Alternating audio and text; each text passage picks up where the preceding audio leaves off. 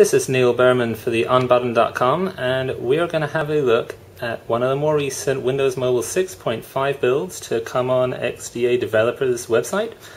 Um, I'm going to be looking at this on the HTC Touch Pro, um, which uh, is sold in the US as the AT&T Fuze. It's also on Sprint.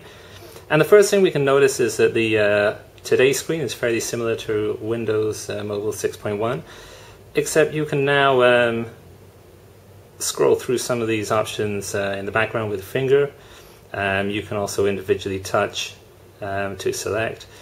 And uh, what you notice is there's a certain amount of momentum, um, similar in style to the iPhone, um, which actually makes the scrolling a little bit prettier. Um, that carries through to the uh, application screen, which used to have the honeycomb background in some of the earlier builds, and now you can see that that honeycomb is gone.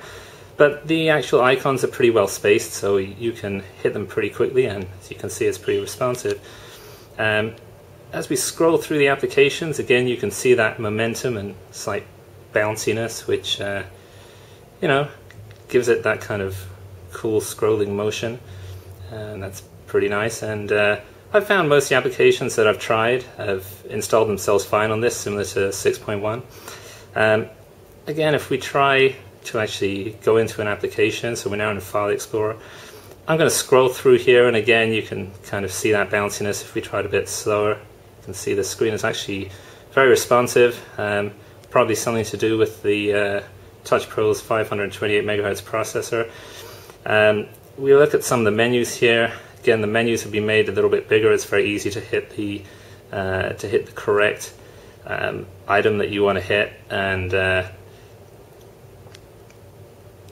it's really been quite a good experience. I've noticed a lot of increase in battery power over 6.1 in the standard AT&T build, and uh, overall, um, it's really performed pretty well. Uh, been pretty happy, and looking forward to seeing some of the actual releases coming out um, hopefully later this year with Windows Mobile 6.5 actually loaded on.